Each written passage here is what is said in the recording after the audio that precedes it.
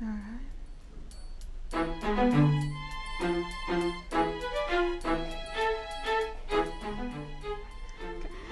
everyone, welcome to Prepare Like a Pro.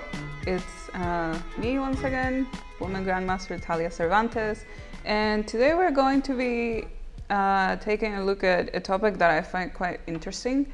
Uh, we can take it more of a dis- as a discussion, right, than just me explaining something and you guys reacting to it. Um, I kind of want us to talk about these two examples. They're from uh, two games of mine during a tournament that I played in May called the Continental, uh, the Absolute Continental Championship. It's a, it's kind of a very big deal. It's a qualifying tournament. The top four spots get a spot at the World Cup. So it was very competitive. I finished 12th actually, which is not bad. Uh, I started 30th, 31st in the ranking, something like that. And this this game right here um, is kind of the start of a learning process that I had during the tournament. And it has to do a lot with realizing your mistakes, especially during a tournament when you don't have as much time as, you know, in the process of preparation to fix whatever is wrong because you literally have a game next day, right? So uh, it's very important to always analyze your games, even a little bit after you finish um, a game at a tournament, and then uh, figure out what went wrong and be conscious of it for the next couple of rounds, right?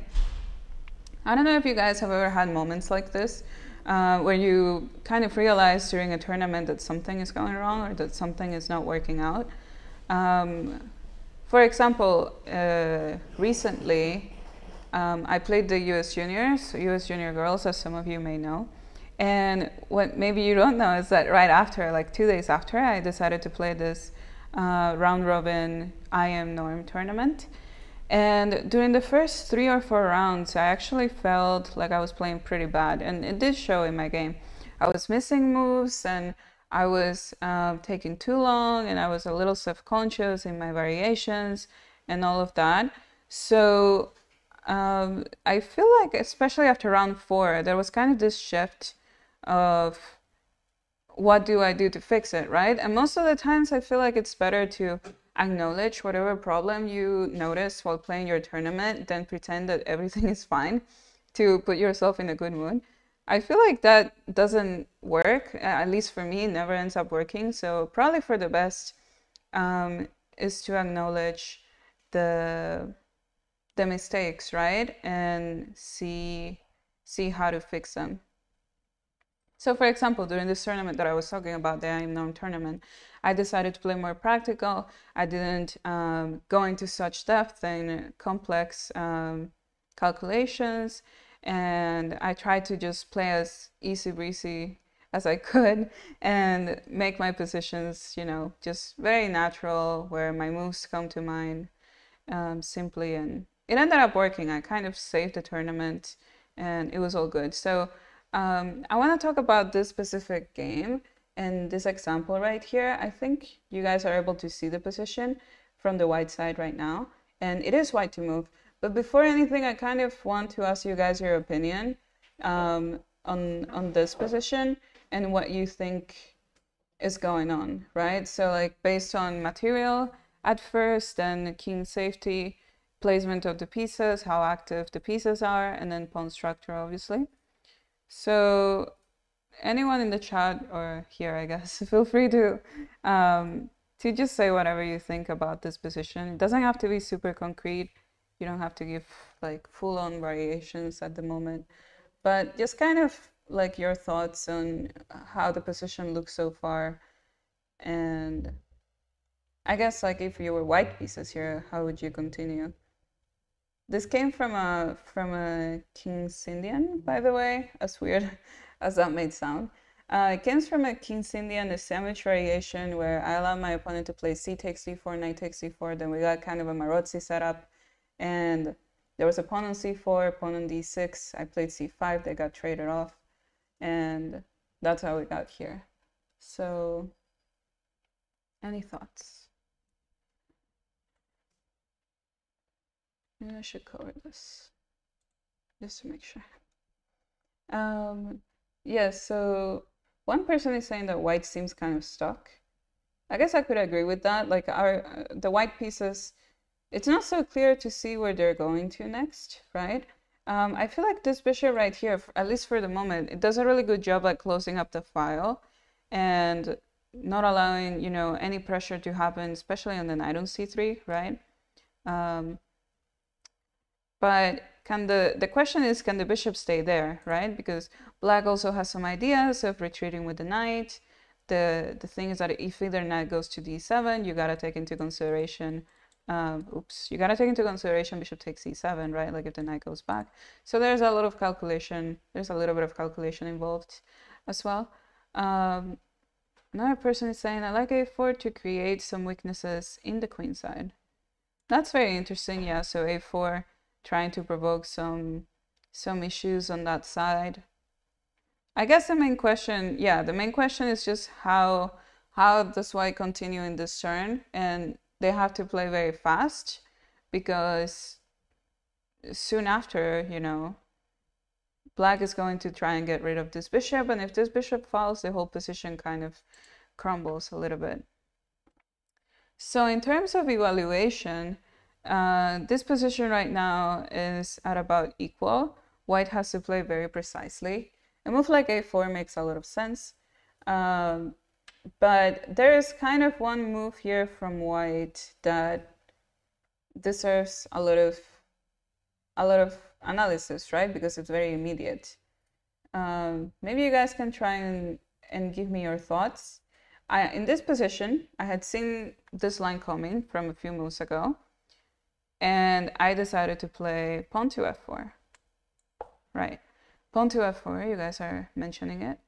Yes, so after pawn to f4, you know, serious calculation uh, needs to needs to be done because, for example, if something like knight to d7, suddenly the white position can be very good, right? Um, something like pawn to pawn to e5, let's say, kind of you know, brings some some attention and if the knight goes back, knight to d5, right? And all of a sudden there are some issues here. And the queen, of course. So eh, it's very important to to still be realistic in the position, right? And try to understand what is going on. The thing is that black has a very, very nice sequence that allows them to escape these problems. And I didn't realize this once I decided to play pawn to f4. Um, there is a way here that black can start to, to escape the issue. So for example, after knight d7, pawn to e5, which is what ended up happening, how can, white how can black continue? I'm going to flip the board to see if it's easier. Um, because at least for, for this turn, uh, it's kind of a question of black to move. But are you do you think that black is completely doomed or is there some resource?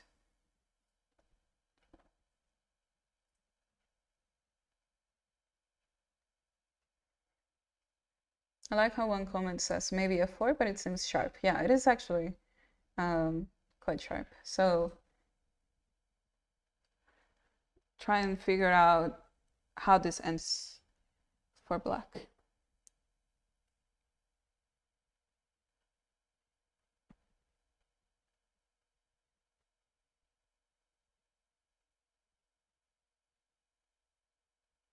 And like I said, it can be more of a discussion. So just, I guess, whatever your thoughts are um, about the position, feel free to, to voice them. But certainly there was a lot going on that I didn't notice at first. And it was when it was my turn to make a move and to make a decision, and I was actually seeing all of the resources going on, it was too late. So, yeah. Okay, so we have one comment that says knight takes c5, and after pawn takes, bishop takes f6. What do you guys think? Is this uh, is this enough uh, for? Is this enough for for black, or are they doomed after let's say knight d1 or pawn takes.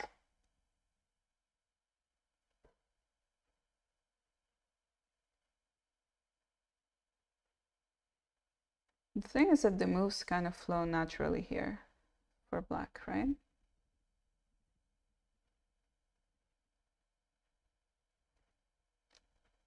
Oh wait, someone is saying knight g4 followed by knight e5. Oh, knight g4 followed by knight e5. I feel like that's a little slow. Knight g4, I'm going to uh, just take it, I think. Either with knight or bishop. Actually, the, the correct variation is knight c5, pawn takes, bishop takes. And the question is after it takes, takes, how does the position evaluate, right? Um, obviously, you know, the two knights are hanging at the moment. And that's a very big issue that white has to deal with. But not only that, the pawn on a2 is probably going to fall soon after. And black has the bishop pair, right? So it makes it very difficult for white to even try and keep some control of the position where black when black has a bishop pair, um, especially with these two pawns in some sort of endgame or in the future. It's gonna be quite hard to to uh, keep the pawns tamed, right? Even if white has a piece more, and it's very uncomfortable how everything turns out because it's not like the queen can move over to the d file and try to help out the pieces or help this knight here on, on e3. It's a little difficult to, to save it all. So yeah, you guys are saying knight to knight to d1. Um, and that's kind of what ended up happening in the game. So after takes, takes, I with the white pieces played knight cd1. It's kind of a transposition. Um, but after bishop to d4, takes, queen takes um, c5. We ended up getting this, and it's very hard for me to defend this knight right here. And of course, um, black is threatening takes and then takes with the rook on c2. So after queen takes c5, rook takes c5, takes, takes, you may think, okay, we traded a couple of pieces, like there's no way that white is under any risk right now. But the position is still so much easier to play from the practical point of view for, for black because not only is this spin very difficult to get out of, black is threatening right now, rook takes d1, bishop takes e3, and bishop takes a2. So there are a lot of threats happening at the moment. There's also rook, e, rook d2, right, with the idea of attacking both the bishop and the pawn on a2. And I feel like this pawn right here, you can kind of give, uh, take it for a lost pawn already. Um, so this is how the game played out and I'm just gonna show you a few more moves. We don't need to see the whole game because my opponent actually gave me some chances and we got to an opposite color bishop um, endgame and it was always winning for him but I don't know why he allowed me to, to, to even get to that point. But after king f2, bishop takes a2, knight c3, bishop e6, knight e5, bishop d4. The position of a sudden just became uh, very, very uncomfortable. He went back with the bishop to, to c8, trying to put it on b7, relocate it, and keep everything under control. We ended up moving the pieces around, and it was around the time where uh, we were getting closer to time control. So both of us were a little bit low on time.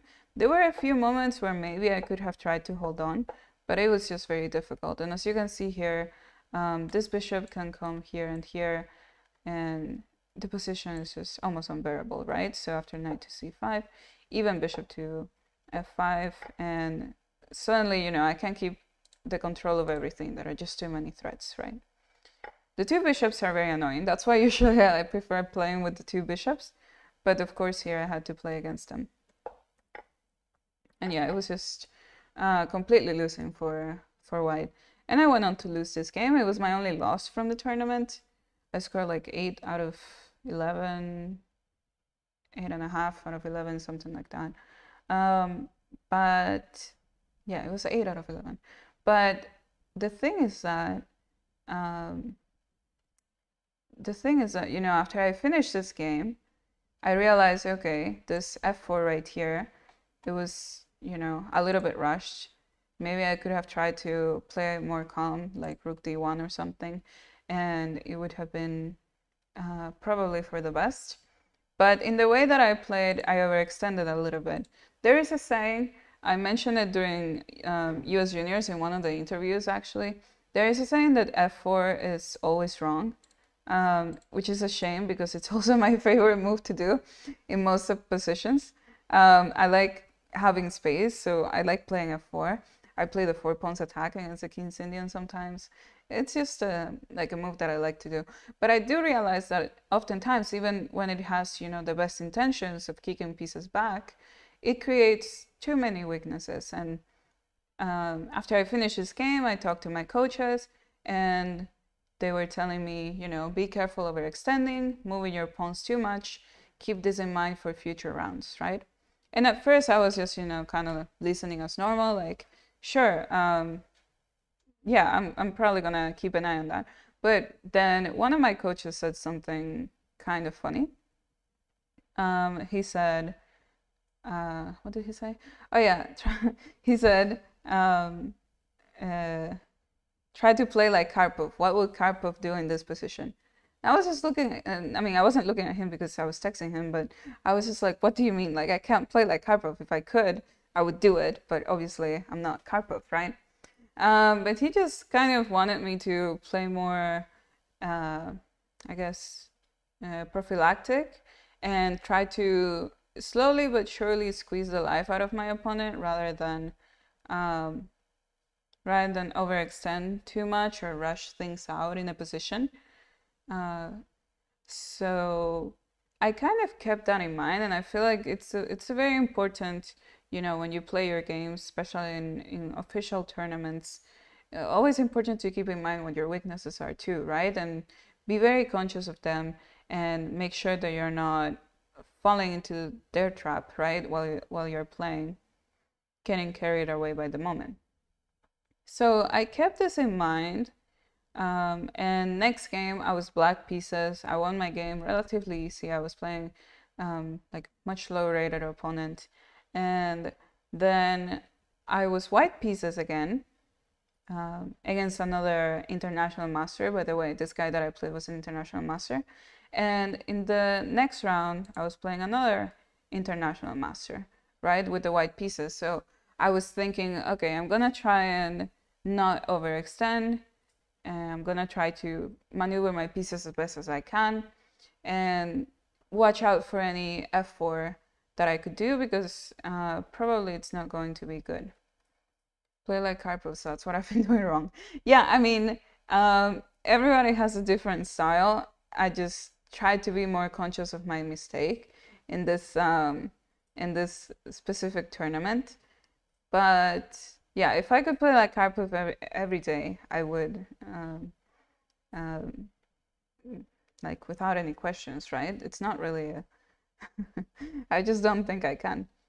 It was just kind of a remembering at most points during this game like oh be very careful not to overextend how to take away uh, opportunities from the opponent right? And that led us on to this game. So pawn to d4 pawn to g6 c4 bishop g7 they're actually from the same country. They play similar openings. I don't know if that's just a thing but um, yeah. It was amazing to see how the two bishops and the pawn were better than the two knights and the bishop. Yeah. Like the pair of bishop was just so strong in that position and it looked exactly at what it needed to look. Um, yeah. But okay uh, knight c3 pawn to c5 pawn to d5 usually those openings um, tend to be quite fine for for white even if the pawns are doubled uh, black gave away their best piece or their best bishop right for doubling up the two pawns right here and oftentimes, you know, the main line is going pawn to f5. It uh, controls a little bit of space. They want to play knight f6 next turn. And there are even lines where white plays with e4, pawn takes f3. You get something like this. Some files in the center are open. And there are even ideas of bishop d3, bring the bishop to h6 if the knight develops, playing h4, h5. Position just tends to be practically better, uh, easier to play for white. Um, so, yeah. However, my opponent didn't play like this with f5, he played with e5. And I was a bit surprised because I had never seen this move before. But if you think about it, it kind of it kind of makes sense because he's going to try and put the pawns on the opposite color as the bishop that he has, right? So he gave up the dark square bishop. It makes sense to put the pawns on dark square. Now that that bishop is gone, so the squares are covered and the other bishop, you know, just has a free way to work um, in the opposite color. But after pawn to e5, pawn to e4, d6, bishop d3, I was just trying to make some normal moves. Knight d7, knight e2. I feel like there are a few different setups that you can use. Um, you can also put the knight on f3, and that is completely fine. Personally, I am a Sämisch player, so I'm so used to putting my knight on e2, playing with the pawn on f3, and then seeing what happens. But after knight to e2, queen to e7, castle, uh, knight to f6, everything looks quite normal so far. f4, it might look a little bit tempting, um, kind of. But uh, the main issue is that after takes, and let's say bishop takes, uh, the square on e5 will always be available for this knight to jump to, and it will be an outpost. And since there is no longer a pawn on the f file, you won't be able to kick it away with f4, right? Obviously, they can't do it right now because there is bishop to g5. Uh, but let's say after something like h6, it doesn't have to be quite immediate. Black can even, actually, black can even probably do something like castle, play king g7, try to put the knight here. But even after something like h6, the knight can have ideas already of jumping over to, to e5. Not even h6, you can even consider something like knight g4, knight e5, right? And, you know, long term, it's going to be difficult for white to, to regain control of the position where white, where black has such a strong knight on e5. Um, so I decided to just play with f3, kind of keeping it tame. King to d8, and I mean, honestly, I had, my opponent was kind of blitzing out all of these moves, and I hadn't even considered king to d8. I feel like it's not really my fault, like king to d8 just seems so unnatural. Uh, but he clearly just wants to put the king on the on the queen side, keeping it safe. Um, maybe, you know, if he had castled the king short, he would have to deal with my bishop, right? And some weaknesses around the king. So he probably didn't want to go through that. Um, and he might use the queen side, the king side in the future for some ideas of g5, g4, uh, maybe breaking open my, my castle king and try to get some counterplay on this side for the lack of space that they have in the center. So I think that this was the idea that my opponent had. And after king to d8, um, I was still a little bit confused trying to understand what my plan was. I decided to go bishop to e3. Maybe it's not the most necessary of moves, uh, but it's still fine. King c7, queen d2, knight to h4. I played pawn to a4. My opponent played pawn to a5. And here, you know, uh, so far up until this point, I have been spending like about five to 10 minutes on each move, just trying to understand what the ideas are because I feel like most of my moves up until now have been isolated, right? So like bishop e3 is an isolated move. a4 has a completely different idea. So now I'm trying to think a little bit deeper about the position and trying to understand what is my plan going to be. So it was at this moment, right, that it kind of put back into my mind the idea of, okay, what would Karpov do here? And, you know, if Karpov was playing this position, he would probably uh, severely punish black for uh, giving white all of this space and just keep on pushing the pieces back, right, into worse squares to the point where black gets completely suffocated. So how should white continue in this position if they want to have some sort of idea like that?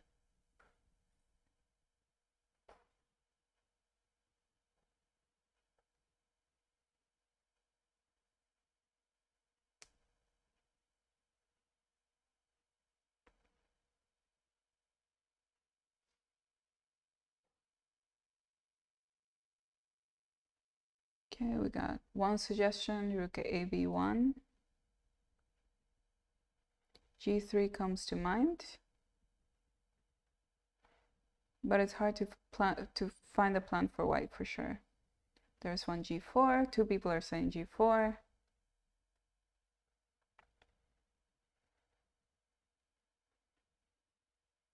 I guess it's kind of like, yeah, which side of the board do you want to play?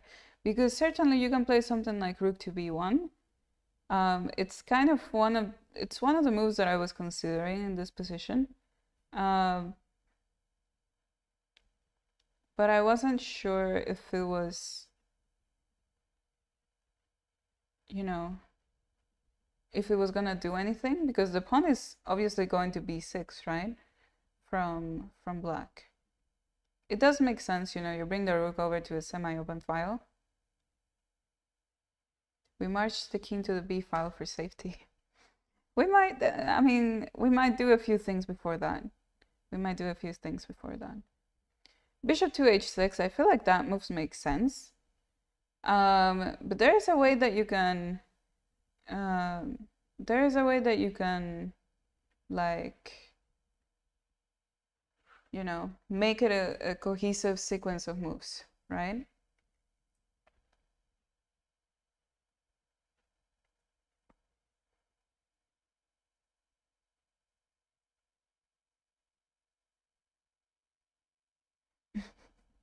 F4 could be fun. I don't know if it's accurate though. I feel like F4 is, even if it's, you know, even if it works, I feel like it's doing what black wants, what black wants white to do, right? Because after F4, you know, before white kind of had most of the control in the position, now it can be a fight for control, right?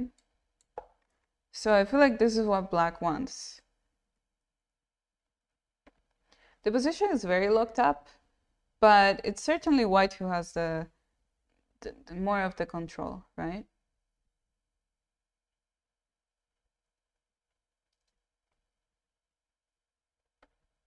You guys keep wanting to play f4, and that makes me feel better because, like I said, um, f4, uh, it's kind of a move that I really like making, but obviously there are some consequences in this specific pawn structure.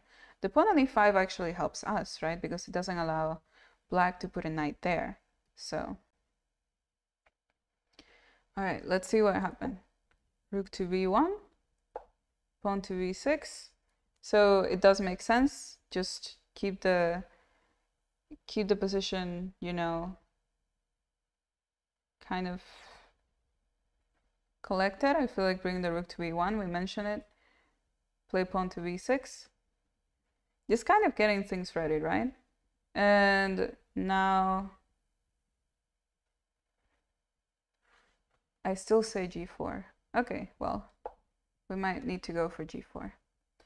Um, the point of g4 is very interesting actually. So there are some there are some some things that need to be kind of calculated, but overall it's not too bad right? Like, for example, it's not like our king is going to check, get checkmated after we play pawn to b4. Um, so pawn to pawn to g4, sorry.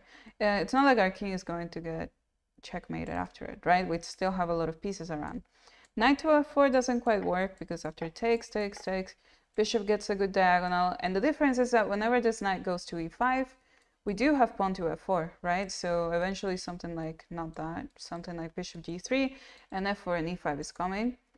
So not just, you know, a pawn up, but also white has the initiative. And in the game, my opponent decided to play knight to g7 and then bishop to h6, right?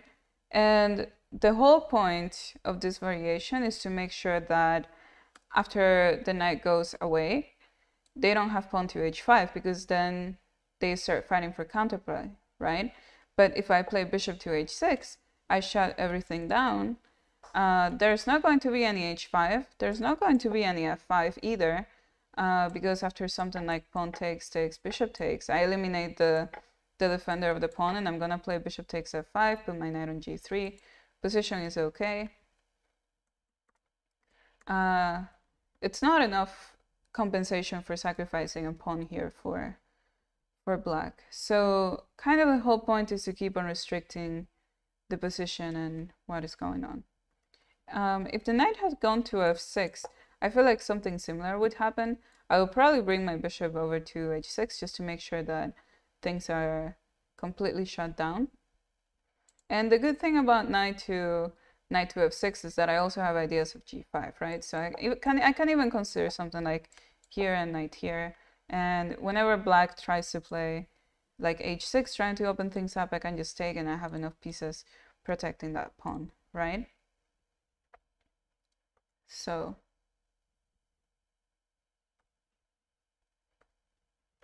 Oh yes, if you want to play something like this and bishop h6, you can't really play knight g8 to kick out my bishop because I have bishop to g7. Funny enough, and it just goes on to show how how tied up the, the pieces are. I gave away the idea when you when I said play like Karpov. Uh, I mean, then remind yourself on every turn to play like Karpov, and you're gonna give yourself the hint. um, but yeah, so g4, knight to g7 was played, bishop h6, rook to g8, knight to g3, makes sense, controlling even more the square here on f5. And the whole point now is just going to keep on restricting black and making sure that they don't have any pawn break, right? Because then our, the position of our king becomes a little bit more weakened. So we just gotta make sure that we don't allow any pawn break and then the position should be fine. Bishop to a6, rook to f2. I was just kind of making moves uh, going around. Rook f2 is always helpful. It just controls the second file, the second rank, sorry. And um, yeah, just make sure that nothing is going on. And when I play h4, there's not going to be any f5, right? Because I have like bishop to g5 and everything is under control. So rook to f8 was played, king to g2, rook to h1, just bringing the pieces over to where they make sense. Knight to e8, and now it's kind of about time. Like, obviously you can spend a couple of moves maneuvering around, but now it's time to come up with the second phase of the plan, right? Which pawn break do you want to do? Do you still want to play f4? Do you want to play h5? Do you want to play pawn to g5? So you start taking these things into consideration. And for whenever pawn, whatever pawn break you are thinking of having here on the king side, there's one piece of ours that we might need to get out of the way first, right? And how how do we do that? Yes, you should still be scared that f4 is giving black the e5 square.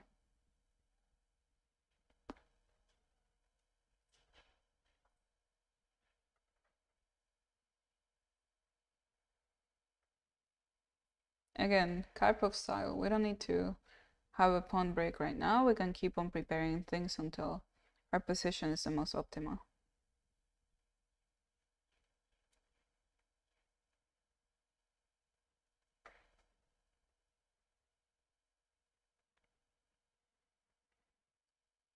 And again, you don't need to give me like a like a tactical variation or anything, just kind of like what your ideas are in the position and what you think is the best chance here for for white and how to continue or if you just have any questions about the position I'm willing to answer them. So just feel free to voice whatever you think is going on right now as if it was your own game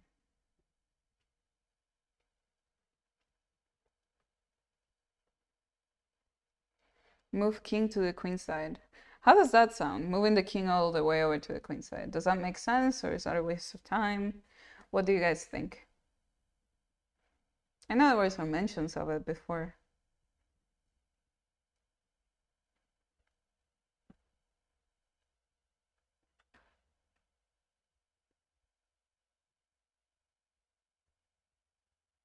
I am not taking challenges right now. Wrong stream. Yeah, I'm doing a lecture. I already took challenges from 2 p.m. Central Time till 4 p.m. I do play the people almost every day. Um, but this is more of a lecture.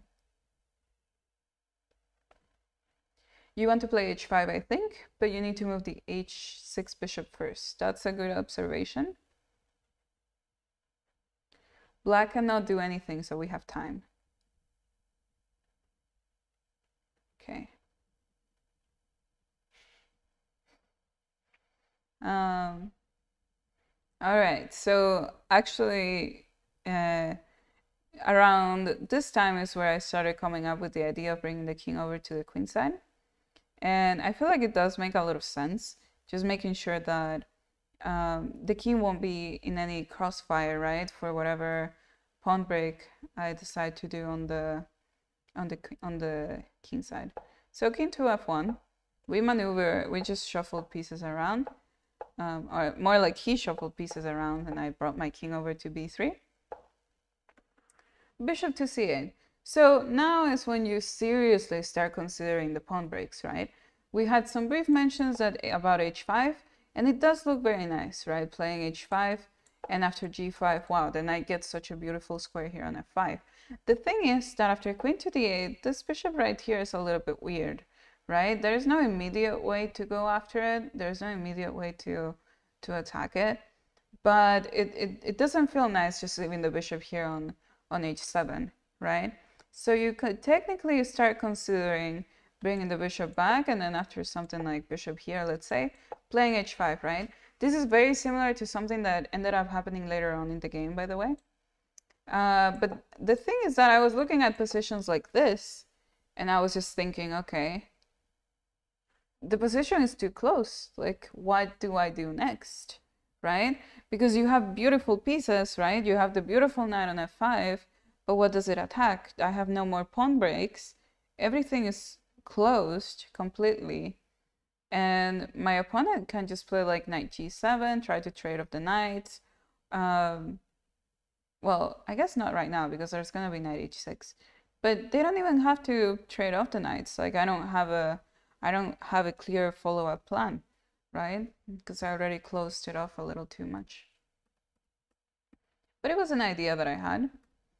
And of course, f4 is always kind of in the back of your mind.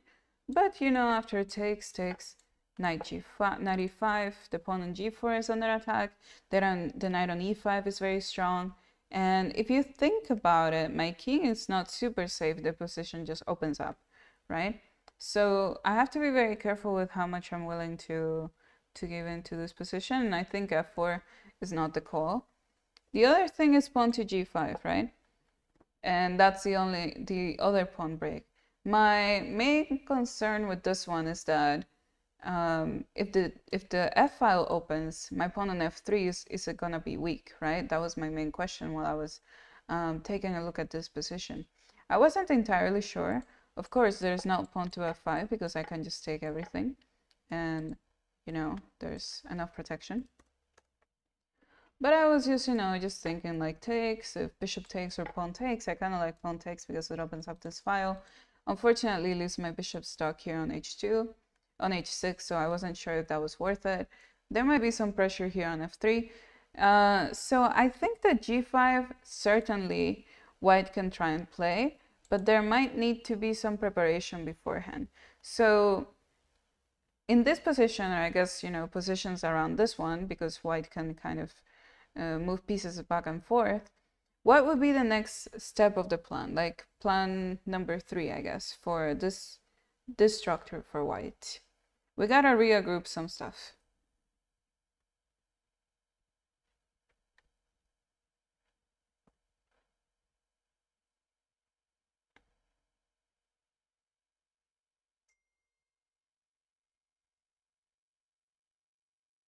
So how should I continue?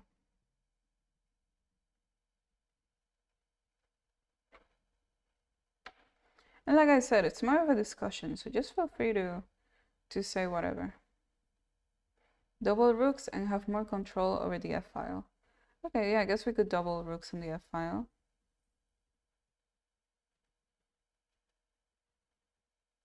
Black weakness is H7. The thing is, how do we get to h7, right? Because it feels like black will always play pawn to g5.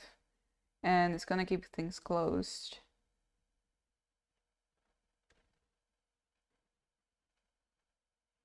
Maybe put the bishop on h3. Ah, I like where that's going. Oh, after g5. Well, the thing is that we really have to time out g5 correctly because if they take and we take with the pawn, our bishop will always be stuck on h6, so we can't really attack h7. So I mean, we can take back with the bishop, but then the h file is not open. So uh, I was looking at all of this during the game, and it was so hard to to like find a sequence that actually worked, right? So there's no immediate pawn break that you know gives an advantage to white, but there is some maneuvering going around. An idea of bishop f1, bishop to h3 uh, was was considered, and I think it does make sense. However, maybe there is a piece that should go through f1 first. Another piece, I should say, that goes through f1 first.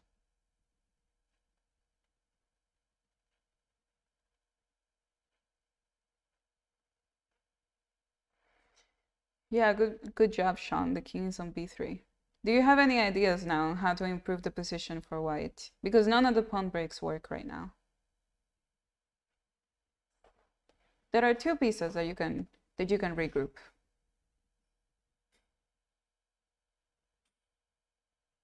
Okay, I like where you guys are going with your ideas.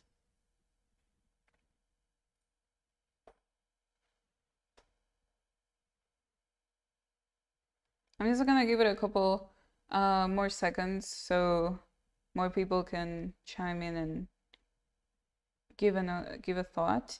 Or if you want to just give a plan, you know, like a like a three or four move plan, uh, feel free to to do that too.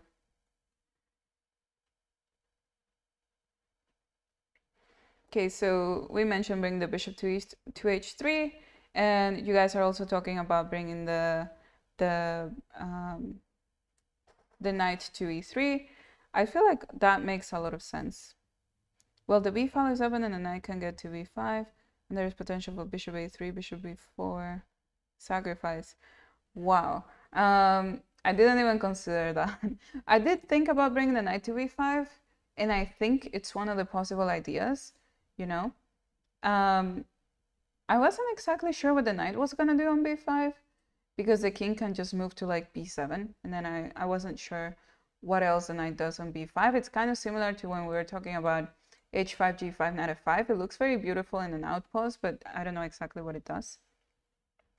However you know you guys are right in the sense that the knight can go to f1 at first right? So let's say knight to f1 um, black keeps moving pieces around knight e3 bishop c8 now we can do the second part of the plan right? Um, we already improved our knight. It was more of in the edge, towards the edge of the board. Now it's more towards the center. It has the potential to jump to c2, a3, b5 whenever we want it to. And it also keeps on controlling f5. Um, and it doesn't get in the way of the of the G file, right? Especially if we're going to open up some files with some pawn breaks. Um, so you have knight takes G5. I don't know what you mean with knight takes g5, but oh oh putting the knight on h3. I I think I thought about putting the knight on h3, but I I feel like it's too awkward for the knight. Um, if we play h5, they're gonna play g5, and I don't think knight takes works. There are just too many pieces from black uh, uh, protecting everything, so I don't think I don't think knight e2, knight g1, knight h3 is the best plan. But you know, it's not the thing about this position is that it's it's not super um, it's not super decisive, right? What you do at, at the exact moment. You can take your time maneuvering the, maneuvering the pieces around, right? So for example, this knight just came to a slightly better square here on e3. Uh, the next part of the plan, of course, is going to be taking care of this bishop right here. Oh, another thing that I forgot to mention for the, for the moment, the knight does support uh, c4, but the knight on e3 also supports c4. So whenever the bishop is on a on a6 or something, uh, our pawn won't be under any trouble while we're transferring our bishop to h3. So, for example, just bishop to f1 right now. Um, and all of a sudden, it becomes a little bit hard for black to know what to do, right? Let's say king b7, bishop to h3. Do you enjoy getting into super close positions or was this intentional? That's a very funny question uh, because uh, you guys are going to see the end of this game in a few moves, right? and I was messaging my coach like I felt very fancy, you know, playing this position because you know it looks very Karpovian, and I look, I, I, it almost looks like I know what I'm doing, but in reality I was freaking out. I was actually lower on time than my opponent. He was just playing like King B7, King A7, and he was doing nothing, and I was the one that had to come up with a plan. There was so much pressure on me. I didn't know, I didn't know how to play out the position entirely. So it depends. Um, it had like its fun parts where it's only me who can do something here, and um, and overall, you know, my position is better um, mm, objectively. But at the same time, it's hard being the one that comes up with the plans, right? I feel like the more you practice these positions, the more you enjoy them. Because uh, I would say that if black, you know, if white doesn't like playing these positions, black is gonna hate it way, way more, right? So, um, yeah. Why is it white the only one who can do stuff? Well, black doesn't have any pawn breaks, right? So f5 is never working. I have way too many pieces um, controlling it, right? Uh, black also can't play g5, right? Because then I'm gonna bring my knight over to, to f5, open up the h file, and I'm gonna be the one um, calling the shots. And essentially, I just have a lot more space in the position. The black pieces are a lot more awkward. You can see that my pieces have more freedom to move than the black pieces. And um, that's why objectively it's a little bit better for white. I would say like between plus one and plus two, more or less. Um, but there are only so little ways that you can improve your advantage, right? And this is certainly one of them. Bringing the knight over to e3, bringing the bishop to, to h3, and not only are you putting the pieces on better squares, but you also have some um, some tactical ideas now, right? Like um, this pawn can come over to g5, and the bishop can get into e6, right? So that's a that's a very strong square for the for the bishop. Um, it's not super clear still. It's it's just a game, right? It's just a game. So there's still a lot to to go off of. Um, but certainly white is one step closer to to having that breakthrough that they really need in this position to um, seriously seize the advantage. So yeah. g5 makes room for the knight to go to g4. Yes, as well. So the knight, you know, the knight can possibly go to g4 in the future, especially after something like takes takes, right? Um, the knight can even make it to g4. And overall, you know, it's kind of like step by step, slowly but surely, white can keep on building up the, the position. Um, which is quite fascinating. It's just one of those positions that you can analyze and find all of the different plans that are being suggested. Um, and you can even, you know, put present to the computer your own plans and see how, how they go, right? And if you're ever not certain of a of, of, of a variation that the computer is giving to you, you can play as the opposite side, right? And see how it refutes your ideas. So, yeah. Exchanging the bishop on d3 for the knight on d7 only makes f4 more attractive. You guys are really obsessed with f4, and I feel like my point of this lecture is to teach you to not play f4. Um, the, the thing is that if you're going to play f4, you might need to prepare it a lot. So you might want to put the rook on d1, on, on f1, the queen on h2, so that when you play f4, you take, take with the bishop, put pressure here on d6. Maybe then, but most of the time you won't have a breakthrough with e5, and e4 will be weak. So I would say be very, very careful when you are considering to break through with f4. I feel like certainly the the idea that we have right here is to play with g5. Yeah. The thing is that I actually didn't see any of this while I was playing. I was trying to find I was trying to find what to do and I just couldn't for the life of me find what my idea was. This kind of takes me back to when I was um, a lot younger. Uh, in 2015, I was playing the the national like some national scholastic tournament here in the US in Florida. and it was round three. I was playing this slightly higher rated guy. We were like 1900s, okay? I was playing this slightly higher rated guy. I have to go back and look at the game, but essentially, I had a strategically better position. I think he had a backwards pawn, and I had, you know, files for my rooks open. And it was just one of those positions where you double up the pieces, you don't allow your opponent to um, push the pawn forward, you put pressure on that pawn, you create a second weakness, right? And slowly but surely, it was almost like a Capablanca style game, right? Like where you just put so much pressure on the opponent and win. And I got to that position. I knew that it was one of those positions that was really good for me. And I was just thinking, okay, I'm going to I'm gonna play like Capablanca, I'm gonna play like Karpov, I'm gonna squeeze my opponent, I'm gonna play like a GM, I can do anything. I believe in myself, I'm gonna beat my opponent. Um, within like five moves, somehow I accidentally allowed him to to push the backward pawn, trade a couple of pieces off, and then we got into an equal rook endgame. so, um, I mean, it wasn't a bad result. A draw against a higher rated guy was still fine. But I was just thinking to myself, like, wow, this is really not what I had, not what I had planned. So, uh, like, I thought about that game, you know, while I was playing this, and it was really hard for me to find another breakthrough in this position. But at least I'm glad that I didn't give my opponent any any chances, you know, for a breakthrough themselves, right? So, for example, right here, um, the, the way that the game continued was with king a3, bishop a6. Um, I had some considerations of uh, like, I'm gonna show you. So queen e3, knight c7, rook h3, knight back, queen c1, bishop e3, king h7. I had some considerations in this type of position, like rook a1, bishop c8, queen d2, knight b8. Where is it exactly?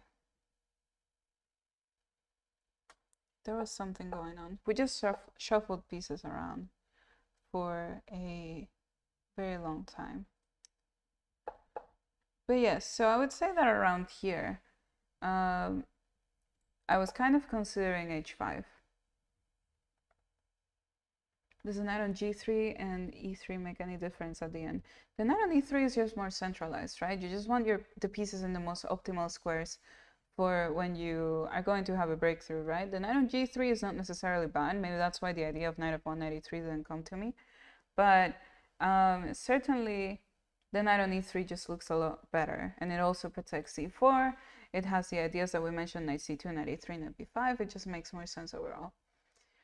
But in this specific position, you know, I was looking for some position where I could play h5.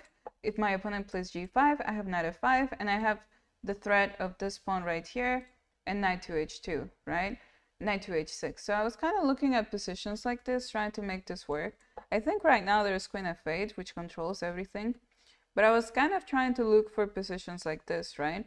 And the thing that I realized is that sometimes, sometimes, even if I play pawn to h5 and my opponent, let's say, ignores it, doesn't play pawn to g5, just does something else. Um, I don't know, bishop here. After it takes takes, it's not so clear because it almost looks like, oh, finally, I have I have the file, right? I can work with this. But all of a sudden, all of a sudden, it's not so clear what's happening with this file. And if I lose control of this file, I am in big trouble, right? So I, I wasn't sure how much I wanted to open up the position either because this also didn't look so so nice for me. I wasn't so tempted to go into these variations. So finding that breakthrough that I really wanted was quite difficult. And eventually I just played rook b1 and played pawn to h5, g5, knight f5. This is how, kind of how the how the position went. Is bishop h6 an idea here? Well, yeah, you can put the bishop on h6. That's where it was before. But at the same time, whenever I play h5 and g5, I'm concerned that my bishop is stuck here on h6. And at the same time, I just couldn't find where the breakthrough was. I was considering g5, but still, um, it's not so clear. Oh, after the file is open. So, okay, so you're saying like h5? Let's say like h5 right here. we're talking about this kind of something like takes, takes, um, rook here, let's say. Yeah, you can put the bishop on h6, and I even consider, you know, doing something like this, and then maybe even having ideas of bishop f8. But I always thought that, okay, what next? Like, I, I wasn't so, like, super, super sure of, like, what was the next plan. I guess I could go for this, and then try to play, like, rook h3 and queen h2, or, like, rook, uh, rook h3, rook h2, and then bring this queen back. Maybe it is possible maybe it is possible, but it, it almost felt like it was a lot, um, a lot of pressure going on. This bishop h6 kind of gives me the same vibes as bishop a7 in that famous Karpov game. So I quite like it. Uh, yeah, maybe now, maybe now it is possible. Maybe now it is possible. Uh, so maybe it's it's not so easy for my opponent to just leave the h file open. I thought that he would have some chances in a couple of times. Maybe it was just my brain seeing ghosts, but I thought that it would be. Uh, uh, I thought that it would be maybe a little too difficult. But I mean, of course, the thing is that he can always play G8, uh, G5, right? And suddenly it's not so clear. Mm. Yeah, so the thing is that he has pawn to g5 and my knight on f5 is beautiful, right? It, it, it just it looks amazing. Uh, but the thing is that after after queen to f8, just play like Karpov, yeah. After queen to f8, it's not so clear what I do now. I feel like everything is too close now. So queen b2, I was trying to go for something on the on the queen side. Honestly, I really wanted to make some sort of bishop takes c5 sacrifice work, but it never did. So um, it, it never works. So queen b5, my only plan is try to get into, my, my only plan is try to get into c6 and maybe go after this pawn. But the thing is that I don't think that is working. Rook b1, queen b2 are great, but the knight on d7 is controlling it. So if I can get your knight on e6 and force a trade, yeah, but I can't really get my knight on e6. That's the thing. It's quite difficult to to piece these things out. And the thing is that the knight on a8, and funny enough, the knight on b8, it looks so silly. It looks so stupid, the two knights back there.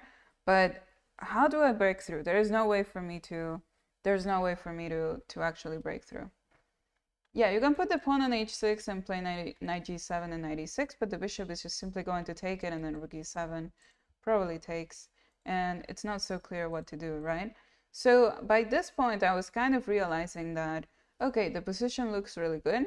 I have a lot of space. I have pressure on the b file. I have a monster knight on f5, but there's not, there's not any more I can do. Like the position is just too locked up, right? So after uh, I played rook to b2, bishop takes f5, pawn takes, queen e8, bishop e4. My opponent and I agreed to a draw, and this is how the game ended. So there was just uh, not much more that was available by this point. The position is at about equal.